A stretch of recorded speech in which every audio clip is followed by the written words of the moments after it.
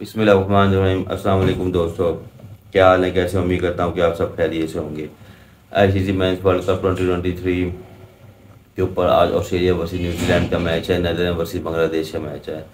लेकिन हम Australia versus New Zealand के मैच की बात करेंगे। और एक बात और मैं करूँगा कि पेप्सी ये जीत का जुनून एक प्रोडक्ट चल रही है, उसके ऊपर मैं बात करूँगा। मैंने जिस पाकिस्तान वर्सेस इंडिया का मैच था अहमदाबाद में। मैं अपने भाई का चेकअप करवाने गया हुआ था। मुल्तान स्टेट चौक पे फ़ूड फेस्टिवल है। मैंने वहाँ से ये टीम खरीदा था। माइट भी बाबर आज़म का था। ठीक है, मैं स्कैन किया, मुल्तान एम आर आई में एम आर आई करवाने गया हुआ था। मैं स्कैन किया डिटेल्स मांगी मुझसे। मैं कहा, दे देते हैं यार, निकल नहीं केड़ी है यहाँ नहीं निकलती थी पाकिस्तान में तो फ्रॉड फ्रॉडबाजी है। लेकिन भाई, आज मुझे टी तीसरा रिसीव होता है। मैं सोया पड़ा ट्रैक्स के थ्रू आता है ये। ये मेरी शर्ट निकली है। पाकिस्तान क्रिकेट टीम की, ये देखें पूरा टैग शैग सारा कुछ लगा हुआ है। मैंने कहा, वाह भाई, निकल आया। चलो, यानी कि अब लोग, लोगों को चाहिए ज़्यादा ज़्यादा इस्तेमाल करें। मैं कहता यार एम ही लगा के टैग कर ले, निकल निकलनी होती, नहीं है, लेकिन निकल आई है भाई। कैसी किस्मत देखें जी शर्ट निकल आई, पाकिस्तान की टीम, बेशक हम टूर्नामेंट से आउट हो गए। शर्ट निकल आई है। चलो, वो निकले, मेरी तो शर्ट आ गई है। अच्छा हुआ टूर्नामेंट से आउट हो गए हैं। और एक बार कोक ने भी ये स्कीम निकाली थी, गाड़ी की, अठारह सौ सी गाड़ी की। निकली आज तक किसी की नहीं है। किसी की भी निकली। कोक ने जितनी एडवर्टीजमेंट बनाई है सब फेक बनाई है, जो मुझे लगता है। क्योंकि मैंने कोक वाले के सवाल किया, मैं कहा, यार, ये गाड़ी निकली है, ठीक है नहीं आप कहते हो आपने एडवर्टीजमेंट चलाई है यूट्यूब पे भी चली है टीवी पे भी दिखाया है ये। निकली है। मोस्टली यूट्यूब पे चली टीवी भी तो आई बहुत कम है, बहुत ही कम है। ये गरीबों की निकली है। किसी की अमीर की नहीं निकली, किसी मीडियोकर की नहीं निकली। फिर मैंने उसे ये भी सवाल किया, क्या आप उन्हें गाड़ी दे रहे हैं? कह रहे हम गाड़ी नहीं दे रहे। वो हम टैक्स टूक्स वगैरह काट रहे जो अमाउंट बनती है ना गाड़ी की, हम वो दे रहे हैं। मैं कहा अच्छा। मैं कहा, ये सवाल तो मुझे जवाब बताओ। तुम टैक्स काट के, गाड़ी के पैसे दे रहे हो। गाड़ी भी किसी की नहीं निकल रही है।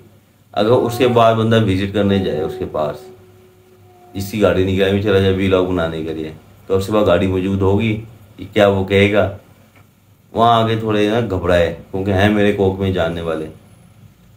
ये फ्रॉडबाजी है कोक ने सारी फ्रॉडबाजी की है। तकरीबन मेरे घर के भतीजों ने, मेरे भतीजों ने, और मेरे हमसे कई लोगों ने ली है। किसी का नहीं निकला, कोई कोड नहीं निकला। मैंने दोस्त यार को फ़ोन कहा शेख, क्या बेवकूफ़ बनाया हुआ तुमने चूतिया बनाया हुआ है। कोड तो नहीं कर रहे नहीं यार, नहीं कर रहे हैं। अब कैसे नहीं कर रहे हैं? कभी लैया का दिखा देते हैं, इसका निकल है, कभी डीजी का, इधर लाहौर का दिखा देते हैं। मैं जी मोटरसाइकिल पे जा रहा था, मुझे फ़ोन आया, मैं तो जी आप ही गाड़ी निकली अब उस बंदे से कभी ज़िंदगी में कोक ना खरीदी हो? छोड़े यार वट एवर फ्रॉड किए कोक ने, ये कंफर्म है जो मुझे लगता है। और दूसरी बात, ऑस्ट्रेलिया वर्सेस न्यूजीलैंड। ऑस्ट्रेलिया ने तीन सौ थ्री एटी नाइन रन का टारगेट दिया। बड़ा कमाल खेलिए जो दोनों ओपनर खेले ना। बड़ा कमाल खेले उन्होंने पहले दस ओवरों में एक सौ दस सुपर स्कोर बना दिया था।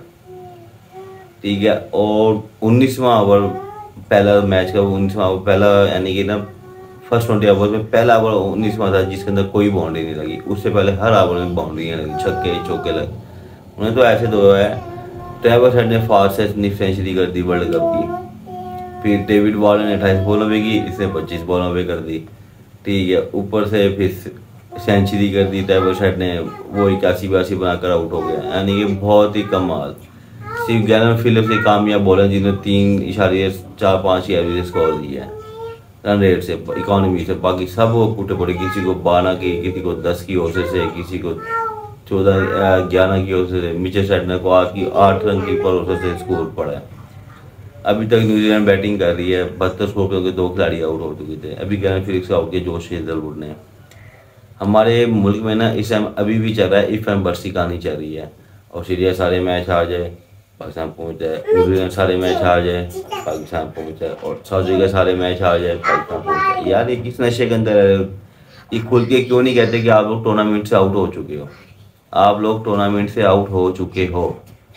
क्यों टीवी में अपनी मनोरंजन बेचने में लगे हुए हैं? अवाम को बेवकूफ़ बनाने की जगह अवाम हमारा शो देखे। सही साफ़ साफ़ पता लग रहा है पाकिस्तान टूर्नामेंट से आउट हो गया। नहीं बता रहे जाम पूछ नहीं बता रहे। उन्हें पता है कि भाई हम हमारा कौन देखेगा? कौन मंजन हमारा देखेगा। ड्रामेबाजी कर रही आपने ऐसा सेंटर कॉन्ट्रैक्ट के अंदर आपने के साथ एक की हुई है साइनिंग अगर आप उसे निकालते तो उसे आपको पाकिस्तानी बारह करोड़ देना पड़ेगा, पाकिस्तान कोच को। अगर वो रिज़ाइन करेगा, ठीक रिज़ाइन खुद से करेगा, फिर नहीं देगा। अगर आप उसे सैक करोगे तो आपको बारह करोड़ देना पड़ेगा पाकिस्तानी। ये आप लोगों ने कॉन्ट्रैक्ट कर रखे हैं कोचिंग से नजम शरीफ साहब से धक्की कर रहे थे। इन्होंने इनका क्या पैसा? है लोगों के टैक्सों से आते हैं कि रेवेन्यू जनरेट होता है आगे तो कार से बाहर हो खड़े हैं लोग पीसीबी वगैरह। पाकिस्तान टूर्नामेंट से आउट हो गया पाकिस्तान से कोई उम्मीद ना रखना सुकून से सो रिलैक्स करो वर्ल्ड कप के मैचेस देखो सेमीफाइनल और फाइनल का इंतज़ार करो, बस। पाकिस्तान का मैच देखने की कोई ज़रूरत नहीं, गंद मारा पाकिस्तान ने, और ये डिजर्व ही नहीं करते थे। मेरी ऐसी चीज़ रिक्वेस्ट है, हर दफ़ा इन्हें ना आई सी क्वालिफाई राउंड खिलाएगा टी ट्वेंटी का भी, और इसका भी, ताकि ये कुछ खेल के हैं। कुछ सीख हैं मनो वहीं बाहर हो जाए, चंगा हमारे लिए एनी कैसी लगी मेरी वीडियो ज़रूर अपने कमेंट्स में शेयर कीजिएगा। प्लीज़ मेरे चैनल को सब्सक्राइब करना मत भूलिएगा। पाकिस्तान, जिंदाबाद।